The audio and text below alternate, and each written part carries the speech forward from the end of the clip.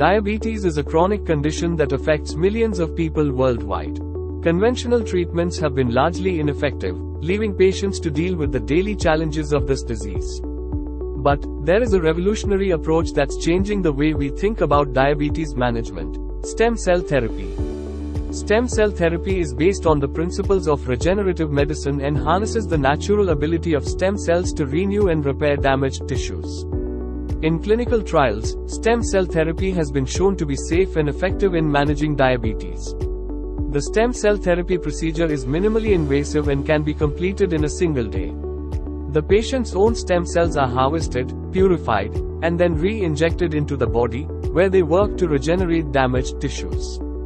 Patients who undergo stem cell therapy for diabetes have reported significant improvements in their symptoms, including lower blood sugar levels, improved insulin sensitivity, and a decrease in the need for insulin injections.